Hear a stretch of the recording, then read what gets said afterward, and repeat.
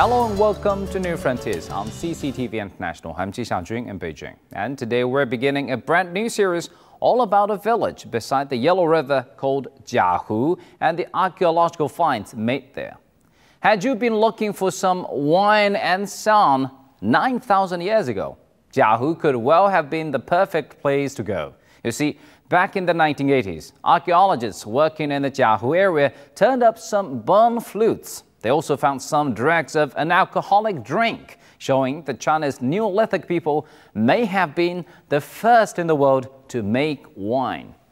The bone flutes were just part of a whole trove of artistic treasures unearthed at the Jiahu site. Among the other fascinating items found there were tortoise carvings, stone tools, and pottery.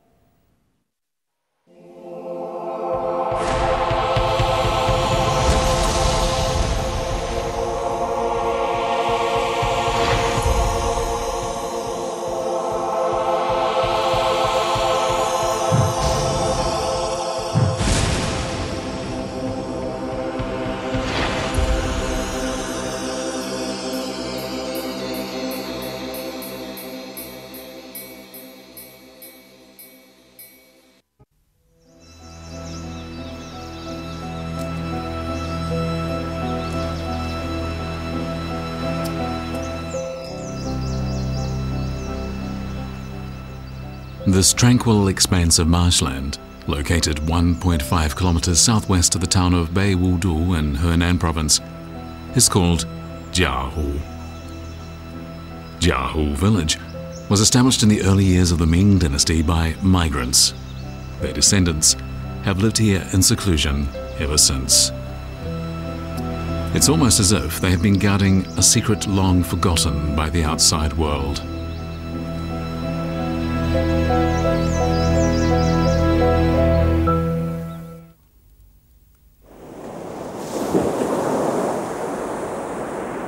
August of 1975, heavy rains fell in the middle and lower reaches of the Yellow River. Flood gauges up and down the river tracked the rising waters and finally indicated that the water had risen to a critical level. A number of reservoirs overflowed their dams, and the floodwaters buried the railroad trunk line. They also inundated a large area to the west, including Jiahu village.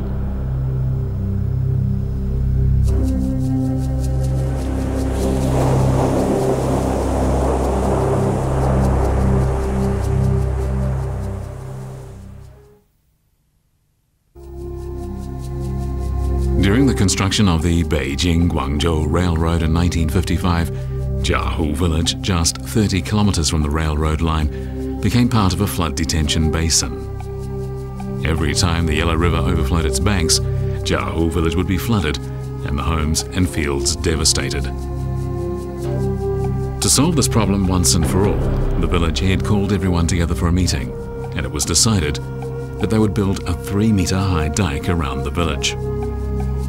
The village was surrounded on three sides by cultivated fields, the east side with wasteland.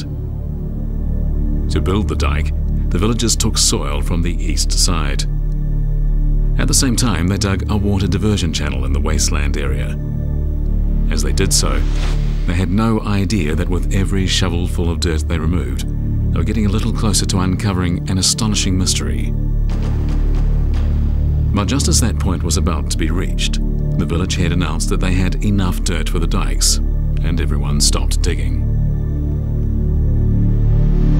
As a result, a secret that was almost discovered in that year, 1955, remained hidden under a thin layer of soil to be uncovered at some later time.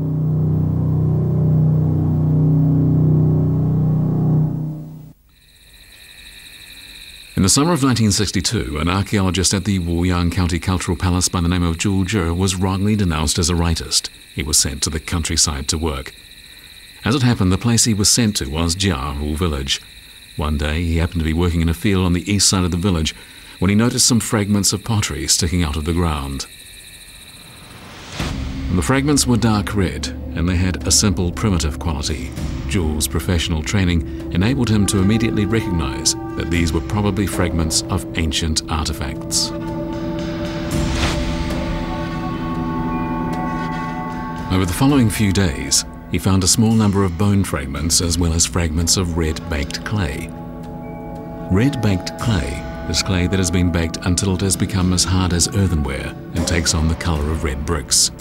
It is often found in the ruins of the dwellings of primitive tribal peoples.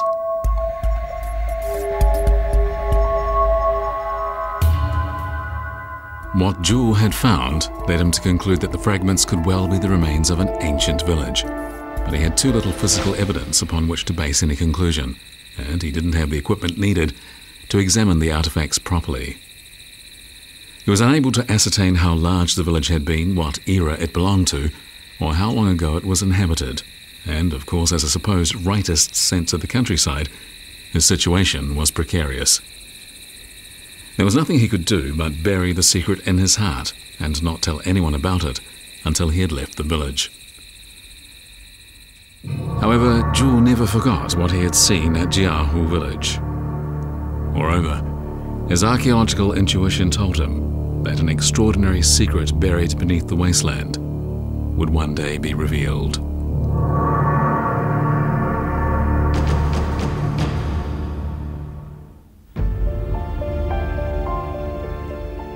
Jiahu village lies on the western edge of the marshland that borders the Beijing-Guangzhou Railroad. In the 16 years after the railroad was built, floodwaters were discharged into the marshlands more than 30 times. Each time, changes took place to the surface of the land.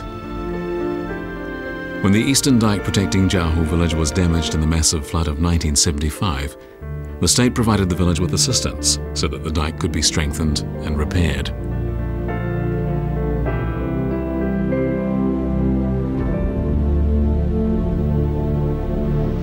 Clear day in the winter of 1978, Jia Jianguo took his elementary school class to do some work on the water diversion channel.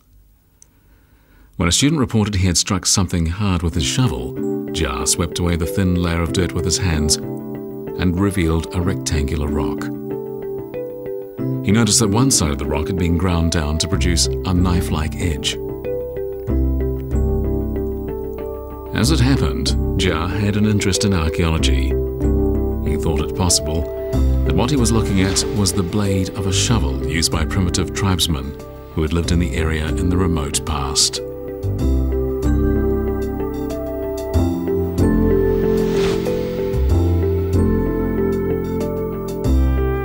Jia felt his heart skip a beat. He immediately instructed his students to dig in the surrounding area, and sure enough, they soon uncovered a number of fragments of stone tools and earthenware vessels, including a relatively intact earthenware pot. Jia wondered if this really was an ancient artifact. What should he do with the finds? Jia remembered that an acquaintance from his hometown was the director of the Wuyang County Cultural Palace. That acquaintance was none other than Zhu Zhi, the man who had spent two years in the village in the 1960s. 我父亲当年是这个县文化馆的一个一名这个文物专干，哎，他非常那个痴迷这个文物工作，呃，都是在这个七十七十年代末吧，当时他那个一个老乡，都是那个当时贾湖小学那个教师，呃，贾建国，哎，他当时就是说领着领着这个这个学生呢，在那个实验田里这个劳动的时间，发现了一些这个陶片啊。还有一些这个石铲呐，这个石斧之类的东西，哎，当时个这个教师呢就说很很新奇，哎，认为是很可能这是一些这个文物或者什么东西，哎，结果他就把这个东西呢拿到城里，哎，叫我父亲看。Zhu Ji was overcome with excitement at the sight of the articles Jia Jianguo had brought. Finally, it seemed a full-scale excavation of the Jiahu village site might go ahead. When he saw the articles that Jia brought with him, Zhu was excited.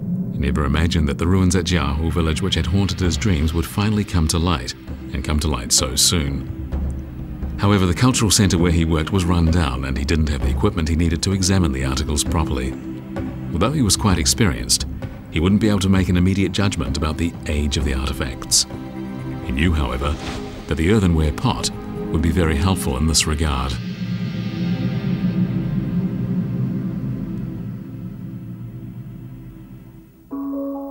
Pottery objects were the first type of artifact created by humankind by changing the physical and chemical properties of natural materials to produce something that does not exist in nature.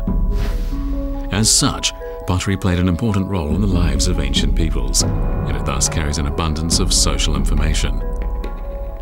With no written records from the Neolithic age for archaeologists to draw upon, pottery artifacts provide an invaluable basis for distinguishing the different ages of man and understanding a society's level of development. In 1965, a Paleolithic age site dating to around 15,000 years ago was discovered in Lingjing, Xuchang Prefecture, Henan, just 40 kilometers north of Jiahu village. A large number of exquisite chipped stone artifacts and bone needles were discovered at the site, but no pottery was found. Archaeologists have since determined that the Lingjing site dates from the late period of the Paleolithic age. The stone shovels unearthed at Jiahu village were ground stone implements. Pottery was also found at the site. These two were important indications that the site dated to the Neolithic age. Zhu ruled out the possibility that it was a Paleolithic age site.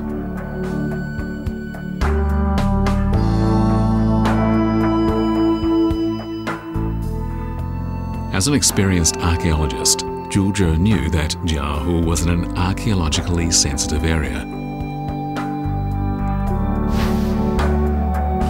During the Neolithic age, many cultures appeared in the middle and lower reaches of the Yellow River. It is known, for example, that human beings lived in this area during the Erlitou culture period, 3,500 to 3,800 years ago. This was roughly the area dominated by Lungshan culture 4,000 years ago. This was roughly the area dominated by Yangshao culture over 4,000 years ago. Jiahu village is located where these three areas meet. By 1979, ruins of all three of these cultures had been discovered in and around Jiahu village. Which of the three cultures did Jiahu culture belong to?